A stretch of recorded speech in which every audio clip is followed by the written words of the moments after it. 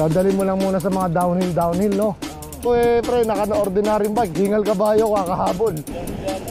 Baka putol na yun.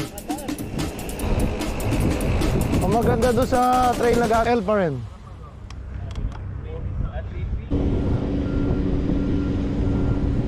Partida daw.